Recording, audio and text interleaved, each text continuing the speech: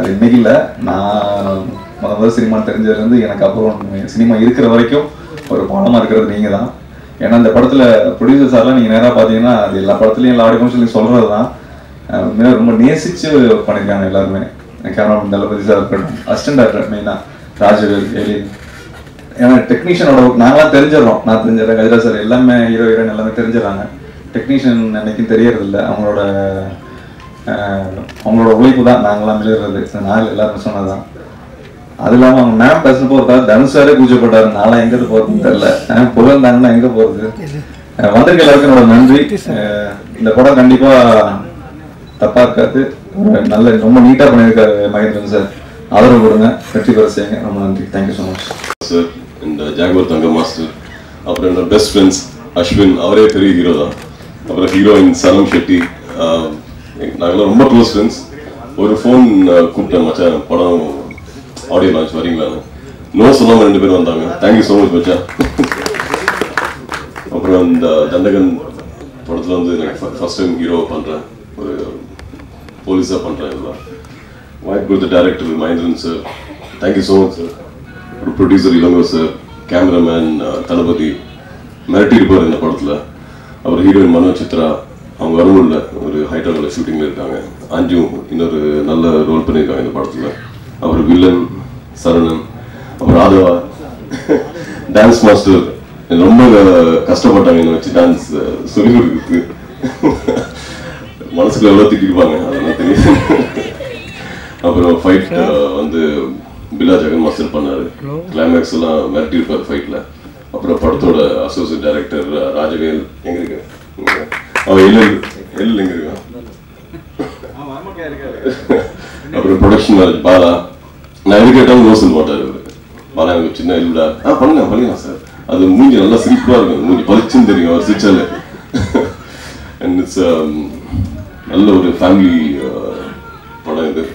தயவு செய்து media like uh, நீங்கள் தான் அந்த படத்தை நல்லா ரீச் கொடுங்க எங்களுக்கு. And make this movie good hit thank you so much ஒரு ஃபைவ் சிக்ஸ் இயர்ஸாக தெரியும். நான் சென்னைக்கு வந்த புதுசுலேயே நம்ம வந்து இந்த மாடலிங் எல்லாம் நிறைய பண்ணுவோம் ரேம்ப் ஷோஸ் எல்லாம். ஸோ மோஸ்ட் ஹேப்பனிங் மாடலாக இருந்தார் அபிஷேக் அப்போ.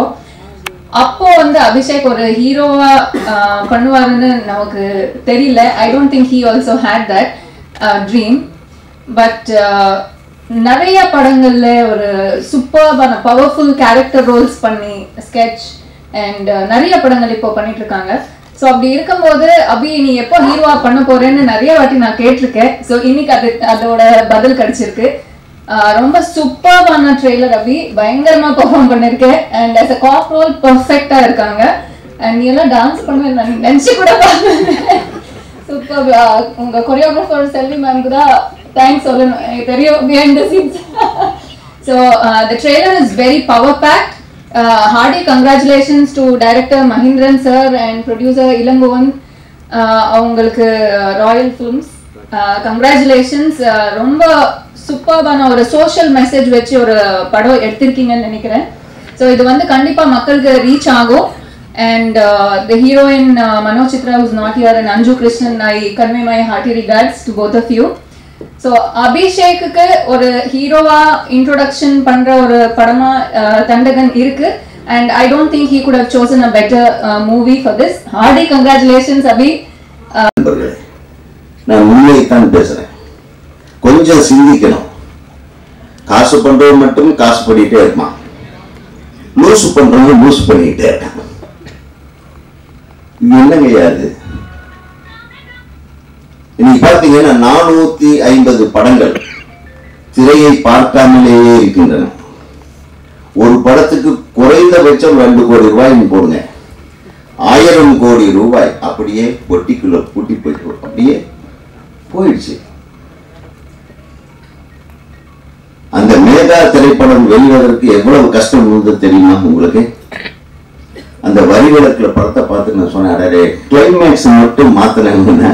இந்த படம் சூப்பர் ஹிட் ஆகும்னு சொன்னேன்.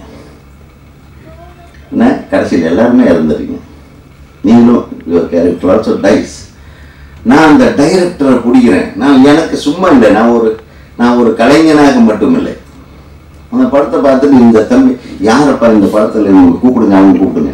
அப்புறம் இந்த தயாரிப்பாளர் யாரோ லைனில் வந்தாங்க. யார்? டைரக்டர் யாரு? ஏதோ ஒருத்தர்கிட்ட நான் பேசினேன். கொஞ்சம் மாற்ற முடியுமா கண்ணே?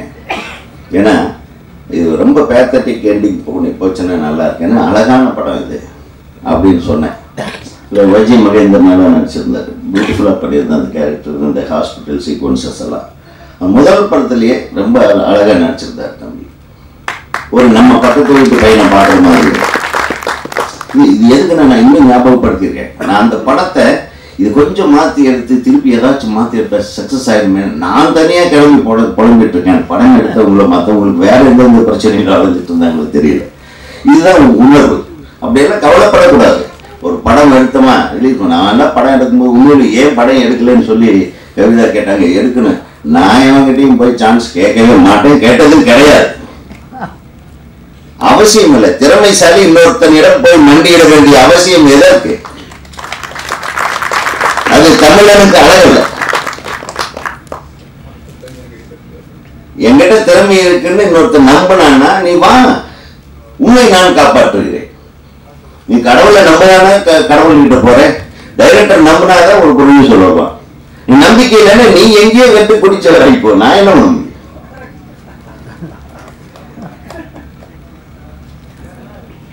நேற்று ஒருத்தர் சாதி நான் தம்பி வந்து தயாரிக்க நம்மளே செய்யலாம் அப்படின்னு சொல்கிற பொழுது தயாரித்தோம் இந்த படத்துக்காக நாங்கள் வந்து இங்கே வந்து ஆரம்பித்து கம்பெனியை தொடங்கி கதையை ரெடி பண்ணி எங்களுக்கான ஒரு டீமை உருவாக்கி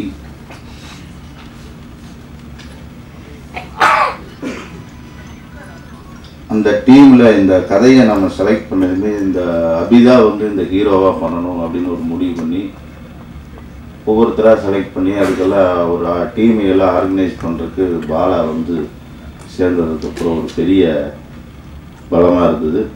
இந்த நேரத்தில் தம்பி பாலாவுக்கு நன்றி சொல்ல கடமைப்பட்டிருக்கிறேன். அப்புறம் வந்து தளபதி ரத்னம் கண்டிப்பாக தம்பியை பற்றி உயர்வாக எல்லாரும் பேசினாங்க ரொம்ப பெருமையாக இருந்தது. அதெல்லாம் விட ஒரு விஷயம் பிடிச்சி அதுக்காக உடல் ரீதியாகவும் மன ரீதியாகவும் ஒருத்தன் கஷ்டப்படுறான் அப்படின்னா அந்த விஷயத்தை அவன் எவ்வளோ விரும்புகிறான் அப்படிங்கிறத நம்ம ஊடுருவி பார்க்கணும். படத்தில் நான் ட்ரேலியோ கிரேனோ கொடுக்கல. படம் முழுக்க கிம்பல் எடுக்கப்பட்ட முதல் படமாக இது என்னன்னு அந்த அறிவு அந்த புலனாய்வுலாம் எனக்கு தெரியாது.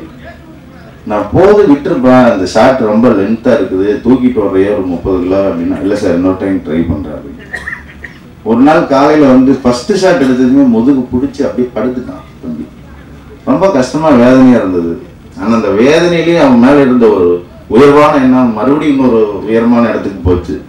இப்படி வெறித்தனமாக சினிமாவை நேசிக்கிற ஒருத்தர் மிகவும் உயரமான ஒரு இடத்த உச்சத்தை தொடுவான்னு ஒரு நம்பிக்கையோட நான் இப்போ இந்த இடத்துல பதிவு செய்ய விரும்புகிறேன்